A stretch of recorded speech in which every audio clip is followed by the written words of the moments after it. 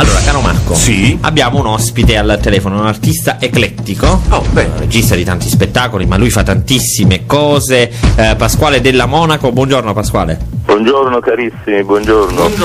Benvenuto ai nostri microfoni. Allora, Pasquale, noi oggi siamo collegati con te oltre per il piacere di fare due chiacchiere insieme, perché domani in particolare ci sarà un evento. Eh, trovate tutte le informazioni sul sito vulcanometropolitano.it, però vorrei che tu ce ne parlassi in maniera più approfondita.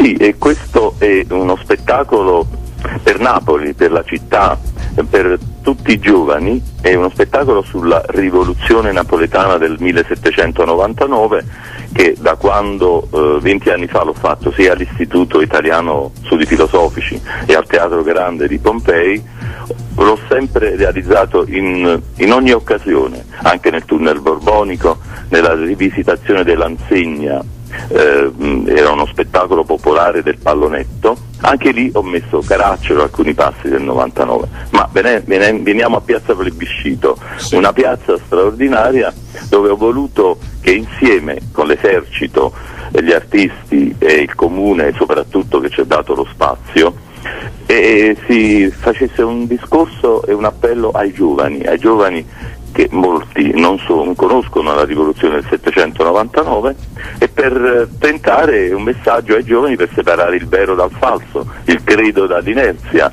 e il lassismo allontanando la subcultura per non cadere nella confusione mentale e nel disordine dei valori.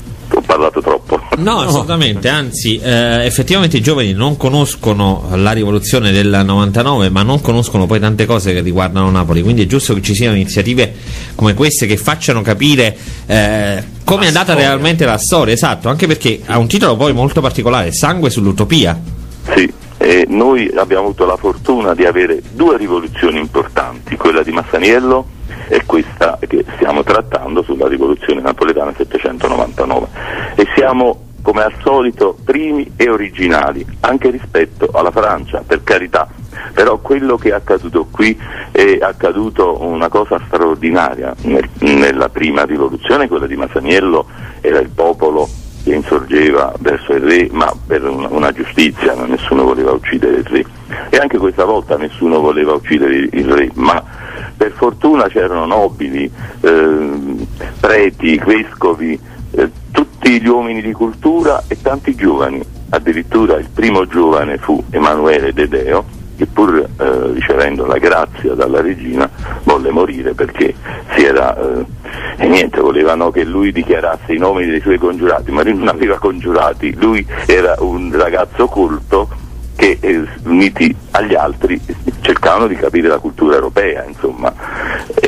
Eh, no, ma questi sono aspetti importanti. Se però mi permetti, però, Pasquale, io aggiungerei una terza eh, rivoluzione: le Sì. quattro giornate di Napoli. Che Ah, ma quelle, certamente, dire, certamente. Dai ragazzi, dai giovani, la prima città che si è liberata da solo dal nazifascismo, insomma, senza l'arrivo de- delle forze alleate, insomma, anche. Sì, questo è, diciamo, io parlavo, eh, non è che avevo scartato questo. No, no, vabbè. comunque, E, mh, e quindi un altro aspetto più importante, un altro aspetto della, diciamo, un rovescio della me- medaglia però positivo è proprio questo delle quattro giornate e, eh, diciamo che io una volta volevo fare proprio un omaggio a Nanni Loi di- per questa rivoluzione. Comunque e quindi c'è un fermento che è stato via via sempre eh, represso e, e la crescita non c'è stata. Quindi cosa è accaduto in questa città da- dal- da- dall'epoca dopo Masaniello, dopo la rivoluzione? Sono venuti a mancare i filosofi, sono venuti a mancare coloro che guidano e quindi eh, hanno lasciato i, i Lazzari allo sbando e una stratificazione di ignoranza anche nel teatro, anche nel cinema, dove noi siamo semplicemente i soliti delinquenti che eh, niente, Certo, che poi, che non eh, sappiamo, eh, non abbiamo una dignità. Danno diciamo un'apparenza poi sbagliata, ecco. Pasquale, volevo chiederti una cosa. eh, dimmi. il tutto quanto dura? Poi ti spiegherò perché ti ho chiesto questa, ti ho fatto questa domanda. un'oretta, insomma, qualcosa in più, perché poi essendoci dei movimenti ehm, Scenici. con carrozze e cose, Certo. insomma, eh, quindi non posso stabilire per proprio un orario preciso, ma sarà asciugato, sarà sicuramente eh, un momento di vari colpi di teatro che non devono, No. eh, non ci stanno pause o vuoti. Ti spiego, ti ho, fatto, ti ho fatto questa domanda Mm, per sì. capire quanto è stato difficile poi concentrare il tutto in così poco tempo. Sì, ti assicuro che ehm, diciamo, il fatto artistico è la cosa più mm, meno difficoltosa, è solo che eh, tanti permessi, tante, eh, insomma, tanti ritardi non da parte nostra, ma neanche dall'amministrazione attuale. È chi ha organizzato cose nel tempo, è esperto, perché poi portarci agli ultimi giorni per una conferenza di servizio? Persone che hanno organizzato in anni cose in piazza plebiscito. Chiedo scusa se sono No, assolutamente, molto aperto.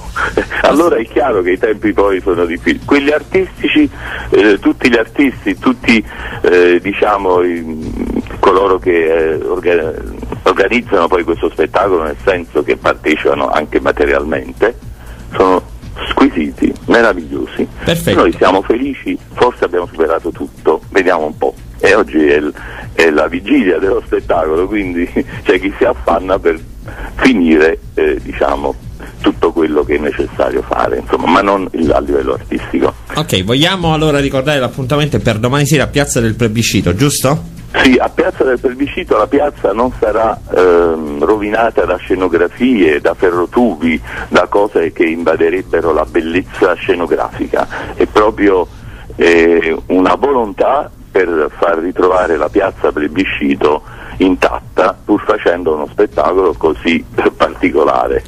Perfetto, grazie mille a Grazie a Pasquale voi, della grazie a voi, Monaca. Grazie. scusate, sono stato troppo prolisso. Assolutamente, tutte le informazioni le trovate su vulcanometropolitano.it.